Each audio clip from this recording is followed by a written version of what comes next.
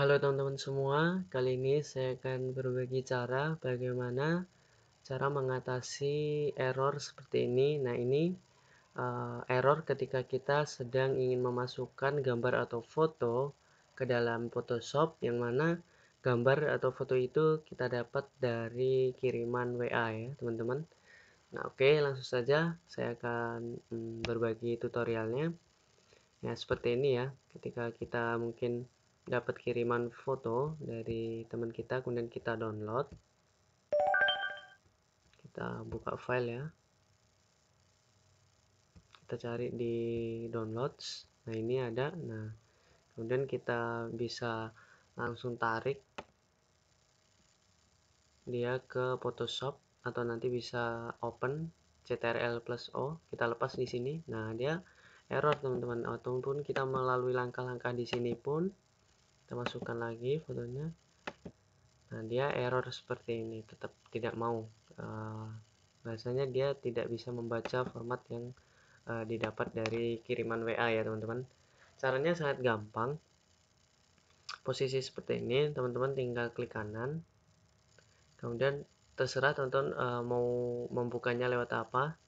Sini ada bawaan ya ada edit with paint tiga dimensi. Biasanya saya pakai ini atau teman-teman mungkin pakai Paint ya. Silahkan teman-teman buka Paintnya. Kemudian bisa Ctrl O. Kemudian kita masukkan nih foto yang kita download tadi nah ini. Nah kemudian langkah selanjutnya tidak usah diapa-apain tinggal kita save ulang file save as.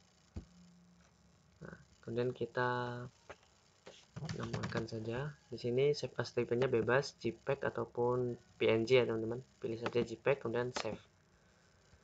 Nah kemudian kita bisa kembali ke Photoshop kemudian CTRL plus O. Nah ini foto yang sudah kita buka tadi atau save as ulang. Kita pilih ya teman-teman. Kemudian klik open. Nah dia bisa teman-teman. Dia bisa masuk uh, ke dalam area kerja Photoshopnya. Kita bisa langsung mengeditnya dan jadi tipsnya kalau teman-teman ingin mengirim gambar melalui WA teman-teman kirim menggunakan doc ya dokumen. Coba kita download.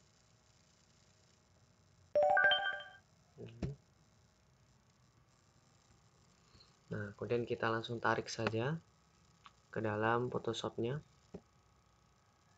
Nah bisa ya teman-teman dia tanpa error karena memang bentuknya dia dokumen bukan gambar. Itu tips saja buat teman-teman yang ingin uh, mengirim file atau gambar melalui WA untuk diedit di Photoshop supaya dijadikan dokumen. Oke teman-teman mungkin cukup sekian tutorial kali ini. Semoga bisa bermanfaat. Jangan lupa like, komen, dan subscribe. Sampai jumpa di tutorial saya selanjutnya